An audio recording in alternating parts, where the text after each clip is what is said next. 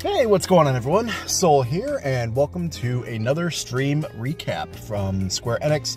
They had their global DFFOO stream today, June 28th, 2021, and per usual, I will be recapping uh, everything that happened. So, first and foremost, as always, thank you to my friend GallonOPCP for the slides, with a special guest slide appearance by Doritos. So, thank you, fellas, I really appreciate it.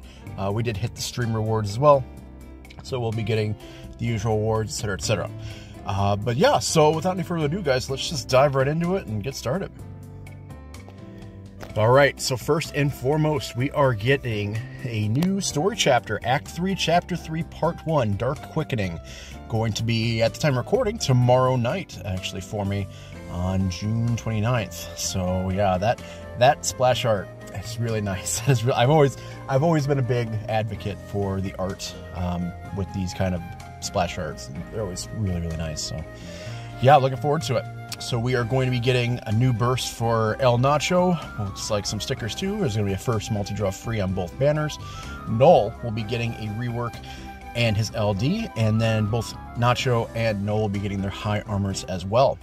It's going to be a token challenge, the dus- Dusky, Dusky Wings. Sorry, it's, it's, the first time I've read that. That's Dusky. That's pretty funny. Dusky Wings until July 14th. So Sphere Fragments, Limited Time Co-op Quest, etc., etc. And also happening tomorrow night as well is Crystal Awakening level cap lifted for Cid, Cat Sit, Kate, Cat Sit, Cait Sith, uh, Irvine, Noel, and Lyse. Revolution support campaign, Divine Boost for Revolutions, Divine Diablos, ultimate boosts and effects with new missions. So half SP cost summon trials, ultimate boost in all ultimate summon quests, divine boost and divine, divine, divine Diablos quests, and the addition of Ultimate Brothers player missions as well. So great opportunity for people that missed Divine Diablos when it first um, appeared to catch up. Then, starting July 5th, we're doing Summer Festival Part 2 continuing sales and campaigns. There's going to be new status badges. And actually, I really got to say, I love these status badges. These are really neat. I love the popsicle. The sea salt. It looks like sea salt ice cream. Reminds me of uh, uh, some KH stuff. And then the uh, coconut with the straw in it. I like both of those a lot. 16 days of login bonuses, so pages and nuggets galore, and more free first multi draws. Which, hey, free free draws. Come on, that's that sounds great to me. July 5th, we are also getting lots of lore, which is Strago's Lost Chapter both his LD and Ash will be available with both their high armors available. Ash will be getting a rework. First multi draw will be free um, on that banner, or both banners rather. And Nacho's Burst is going to be featured on both of these banners as well. And by both these banners, I mean Strago's Lost Chapter and then July 8th, which is Iroha from, I think that's how you say her name, Iroha.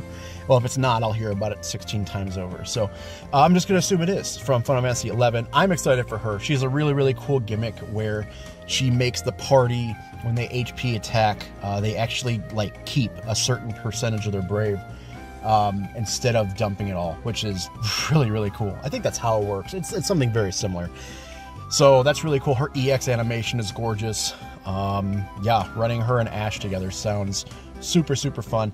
I am super excited for Ash. Ash is actually going to be my first blue armor. I have not spent a single ingot on any armors yet to this point, uh, but she's going to be my first blue armor. Her LD and her rework, oh my god, she's so much fun. She looks so much fun to play. I can't wait for her. She made my uh, my list for most anticipated uh, upcoming LD when I did my uh, LD top whatever video um, like a week or two back. So yeah, I'm super excited. I'm not going to get the costume. The costume, I wish it was um, a different type of dress. I think it's the dress that she has at the very beginning of the game as opposed to that one, which is at the end.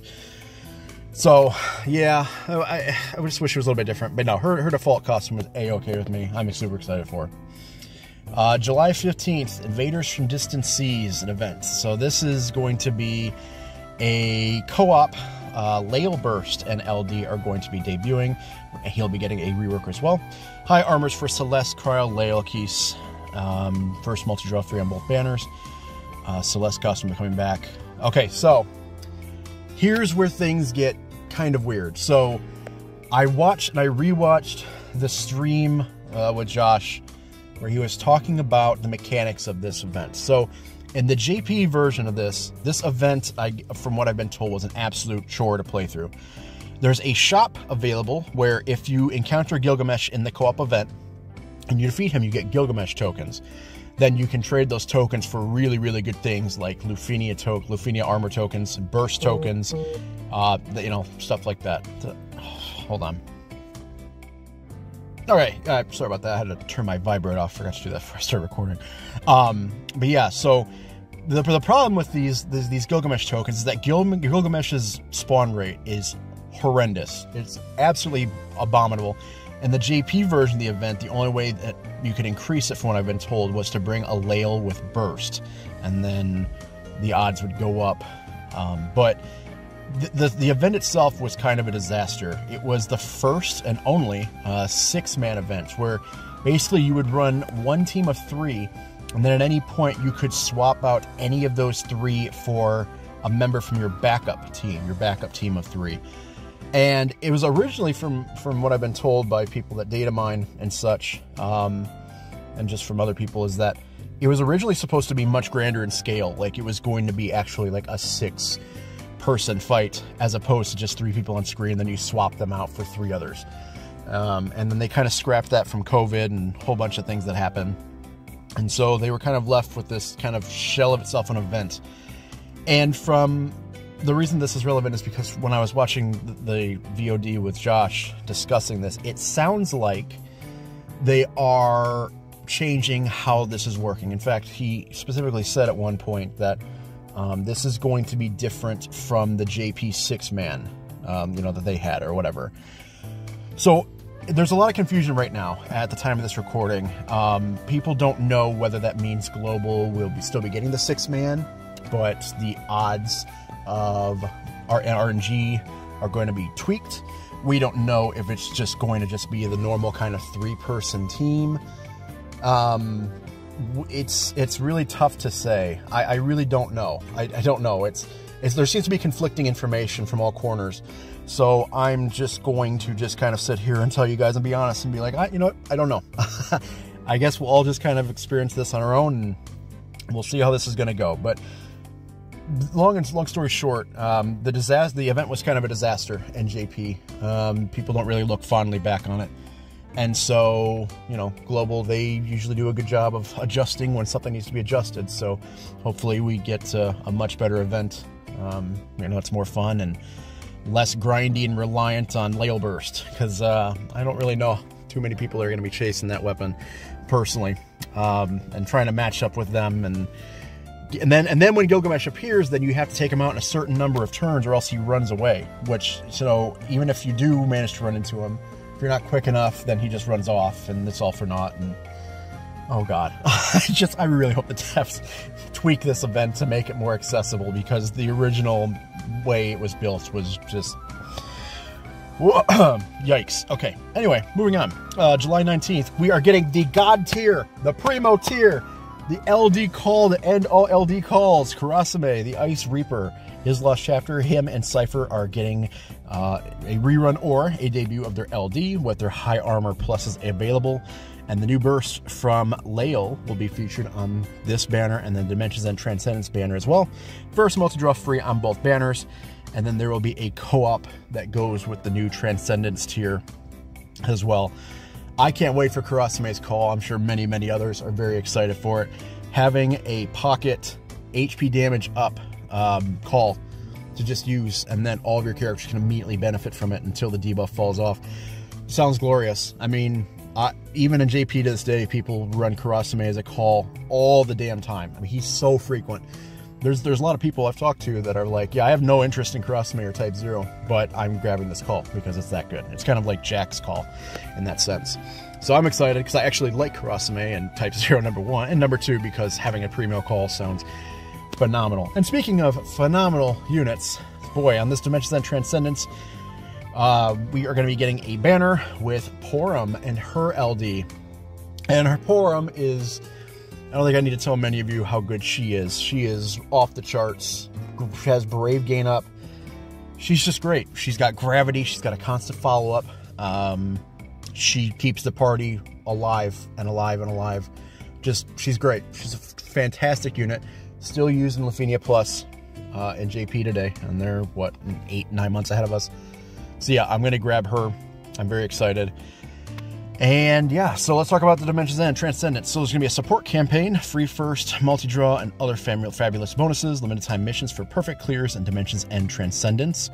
Daily hunts, World of Illusions um, will be, well, the daily hunts will be changed, looks like, and the World of Illusions and side quest rewards will be doubled um, as well. So that's pretty cool.